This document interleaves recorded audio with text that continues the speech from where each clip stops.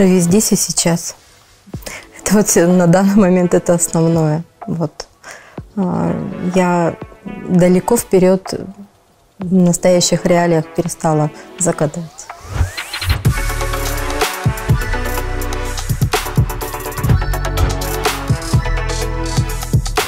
Родилась я в Узбекистане. А когда мне было полтора года, родители увезли меня на Таймыр. Увезли в сумке, пряча. Жила я в вахтовом поселке. То есть детей нельзя было привозить в вахтовый поселок, поэтому ну, так вот на одном из месторождений а, нефтегазовой промышленности появился первый ребенок. Ну, где-то три месяца таким образом вот появилось шесть детей. Три месяца нас скрывали, да. Ну, деваться-то уже было некуда э, кругом. Ну, то есть родители привезли, и дальше уже просто, когда наступало время учебы в школе, да, то есть было дано право выбора э, родителям, куда они переедут, им предоставлялось там э, жилье. Э, и вот мы выбрали Дудинку, многие уезжали в Норильск, но Дудинка, она, э, она на реке, она похожа на Мирный, она такая же маленькая, компактная, уютная. Что было, тем играли. Родители привозили подарки. А, прекрасно помню Новый год, когда папа привез мягкого а, поролонового большого зайца, и почему-то вот посреди зимы, я не знаю, откуда он это взял, это был арбуз. А Новый год мы встречались все вместе, всем общежитием, то есть все взрослые сидели за столом, сидите под столом, ну, потому что были такие маленькие комнаты. Такое, наверное, самое страшное и детское впечатление – это 79-80 а, год, вот эта новогодняя ночь, взрыв газопровода, когда все родители убежали, остались только дети, и кто-то из, ну, там, из женщин, кто-то остался. И а, родители ликвидировали аварию, тушили этот газопровод. Уже, когда уже была взрослая, а, то есть уже прочитала, что в это время эвакуировался Норильск, полностью было остановлено все, потому что а, другого источника, как газ, не было. Людей вывозили на материк, ну а мы детьми были там на месте, на газовом месторождении. Мое детство прошло в тундре. Мое детство прошло а, с рыбалкой, с ягодами, а, с походами. Но мое все детство связано именно с рекой, с Енисеем, а, и с рыбой. Родители работали круглосуточно, можно так сказать, воспитывали друг друга а, мы сами, соседи. А кто не на смене, тот и накормил всех детей. То есть собаки вокруг. Если собаки сидят около клуба, значит кино будет, значит его привезли. Ну и, конечно же, это вот походы по ягоды, грибы на рыбалку. Да, я хорошо училась. У меня была проблема с математикой. А, ну, как проблема? Это просто четверка. Вот. Но учитель математики всегда считала наш класс неспособным к математике, поэтому там сложно было, получить пятерку. А училась я хорошо. Ну вот если бы все вернуть назад, наверное, я бы ушла в органы, а, но на тот момент э, а, как бы вот было сомнение, я все-таки вот так и ушла в педагогику. А, я закончила Красноярский педагогический университет, институт на тот момент, факультет начальных классов. На тот момент, когда я приехала в Мирный, и а, мои дети, старшая дочь уже пошла в детский сад, и пришло время устроиться на работу, а, как раз-таки с учителями начальных классов в Мирном все было хорошо, и было устроиться сложно.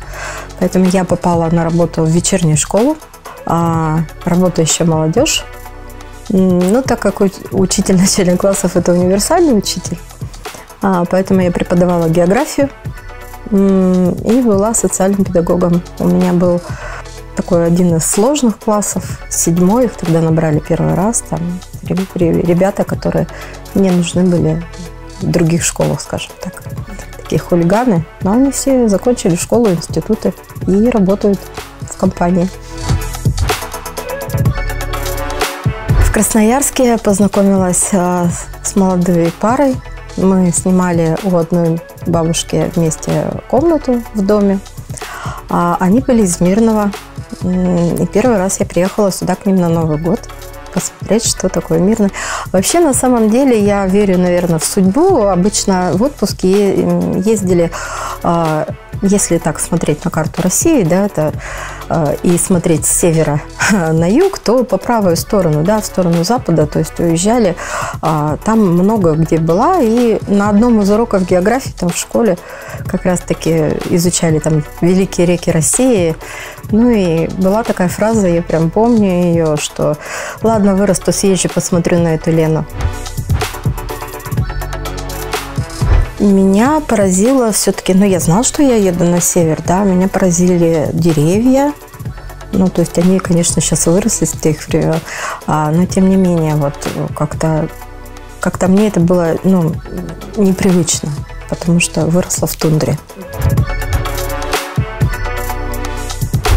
Так получилось, что пригласили на работу именно в администрацию. Я прошла, пришла, прошла собеседование. Со мной побеседовали, говорит, ну, мы вам сообщим. Вот, как бы так. А сотовых телефонов не было, там какой-то период времени я там просидела дома, там около телефона, ну, думаю, ну, вдруг звонок будет. А потом пришли со школы и говорят, что ну хватит уже сидеть в декрете, у нас там детей учить некому. Я вышла на работу, прошло полгода и поступил этот звонок 11 января 2001 года я прошла собеседование, и вот в этот понедельник, 15 было 23 года, как я в этом здании.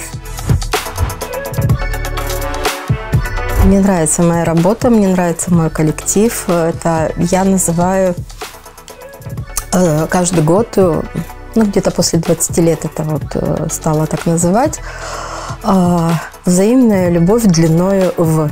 Ну вот сейчас уже в 23 года. Работа в администрации, она а, динамичная, она не похожа каждый год. Кажется, что одно и то же, там вроде как одни и те же мероприятия, это каждый раз разные события, это а, меняется все очень быстро. Наверное, вот такой немножко пожарный режим работы, это вот мой режим работы, я, наверное, не смогу в каком-то там спокойном состоянии, где э, просто там бумажка к бумажке что-то там перекладывать, перечитывать, э, это нет. Вот если нужно спасти мир, это вот это про меня. Много раз было, да, там в порыве какого-то там очередной, как я считала, там неудачи или там усталости, да, ты думаешь, ну вот все, вот он настал этот момент, там пишешь заявление, там плачешь, тут же его рвешь, выкидываешь, успокаиваешься, все. А, морально тяжело, потому что ну, это работа последние полтора года, она действительно 24 на 7, а потому как мы работаем с членами семьи СВО, мы, работаем, мы работаем а, с, непосредственно с ребятами на связи постоянно. А, это решение и бытовых проблем, и просто выслушать.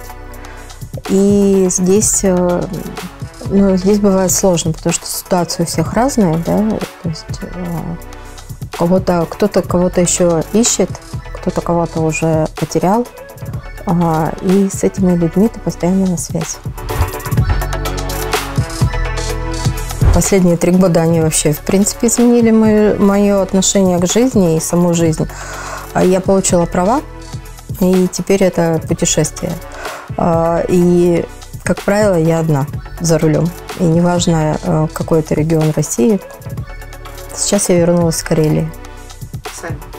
А, машина была не из Мирного, машина была на прокат, да.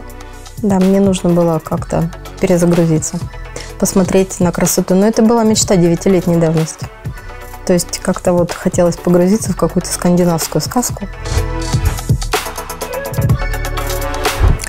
Они вообще неразделимы, они всегда были неразделимы, и они так и будут без Алроса здесь, э, ну, это невозможно, сложно. А Мирный появился благодаря Алросу, Мирный живет благодаря Алросу. Здесь работают люди Алроса, здесь все, все связано с Алросом. Алроса помогала, когда было сложно, это 90-е годы, 2000-е годы. А, Алроса продолжает сейчас социальные проекты, это это вообще никак даже представить себе как-то сложно. Да, пришли недропользователи, но это совершенно не то главное здесь Алроса.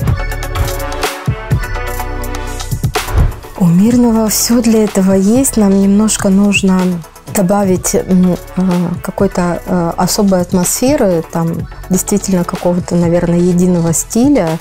А, очень сложно нам будет расширить наши дороги. Мы понимаю, почему они такие, да, очень уютные, компактные. Но, ну и, возможно, добавить э, э, новые какие-то интересные дома, да, то есть строительство нового. Мы убираем наши старые деревяшки, хотя они э, напоминают многим такой, такая ностальгия, да, ветераны приезжают, когда или смотрят сейчас очень много фотографий, так вот общаемся, те, кто уехал. Говорят, как, а тут столько снесли, а где же это? А я вот там жила, а этого дома нет. Как интересно, здесь появились новые дома. Вот это вот динамика, она все равно есть, город развивается, поэтому нам немножко нужно сделать его самим более уютным. Все жители Мирнинского района, вот все, абсолютно все, неважно, где он работает – Здесь все построено э, Алроса. Здесь э, но изначально люди приехали ради этого. Поэтому здесь все, ну, они одна большая семья. А, общалась всю жизнь с замечательными людьми. Я работала а, со всеми президентами республики то есть э, с каждым я знакома лично. 2000, э, вот этот третий, 2005 год, это было просто такие интересные поездки сюда людей. Э, здесь было очень много людей. В 2005 году на юбилей города здесь, я не знаю, полстраны, наверное, было. 2001 год – это первое знакомство. Мы ждали Владимира Владимировича, да, когда э, был затоплен Ленск, восстанавливался. Как бы, да, в мирном не был, но тем не менее вот эта вся подготовка там, а может быть, приедет. А все э, руководство МЧС, они же все здесь базировались. Это, это был вот 2001 начало работы, то есть это вот сразу было пожарный э, режим работы. То есть я пришла в январе, это все случилось в мае и продолжалось до конца сентября, там, да, пока все это не восстановилось. То очень интересно. Вот здесь постоянно кто-то из руководителей приезжал. Э, то есть и были стройки, которые принимались э, высокопоставленными людьми. Здесь много, много кого было. Дмитрий Анатольевич Медведев, будучи премьер-министром, принимал Светлинскую ГЭС. То есть э, каждый год какой-то он приносит что-то интересное, новое. Дочь у меня закончила медицинский университет. И так как она и супруг у нее, они медики, занимаются научной деятельностью параллельно, они остались э, в Новосибирске. У них там свои уже детки.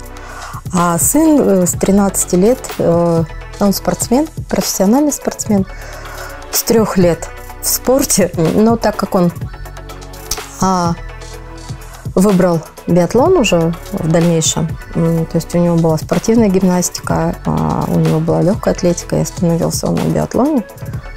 А, поэтому в Мирном это сложно. Он закончил Алданскую э, школу подготовки Олимпийского резерва, и он закончил потом а, э, техникум в Стерлитамаке, это в Башкирии, бегал, кандидат мастера спорта по биатлону. Сын, несмотря на то, что занимался, ну, спортсмен, да, ну, как все мальчишки, разгильдяй. И вот в очередной раз там был на соревнованиях, пропустил целую кучу учебного года, приехал, кто-то ему там дал списать, перед уроками, да, а он, кто-то из мальчишек полез тоже посмотреть, а да, а да я тоже спешу. Ну и такая небольшая потусовка, он ломает руку. Ломает руку, это стрелковый палец, это биатлон, это, это профессиональный, да, то есть а, а на следующий день начинается соревнование между школами по эстафета по лыжным гонкам. И там определенного возраста мальчик, определенного возраста девочка, да, а мой в гипсе. И я понимаю, что как бы школа идет ему навстречу, а он, значит, вот сейчас такой секой бежать не может, потому что рука в гипсе. Ну как бежать? А я договариваюсь, ну вернее не договариваюсь, а просто прихожу и говорю, он побежит. А, говорит, а как? Я говорю, ну, если, говорит, напишите согласие на то, чтобы... Я говорю, не просто напишу согласие, я еще рядом побегу, как бы, буду, буду говорить все, что о нем думаю. Он на меня тогда обиделся, ну, прям реально обиделся, э, и, и прошло время, а соревнования у него, российские соревнования в Красноярске, он ломает на подъеме палку, а палку подать некому. После этого позвонил, сказал, как хорошо, что я тогда бежал с одной рукой в гипсе. Я просто понял, как это. Я вспомнил, как это надо делать. Поэтому мне было неважно, есть палка в руках или нет.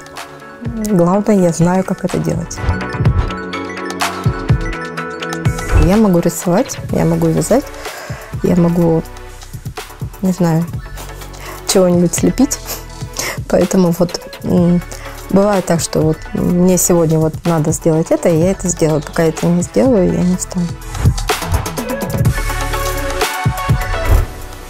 Любимый город, а место силы. Я с удовольствием возвращаюсь из отпуска. Алроса – это надежный партнер. Это а, ответственность, стабильность. Это, это было и есть, и будет. Я бы все повторила. Вот я ни на минуту не жалею, как сложилась моя судьба.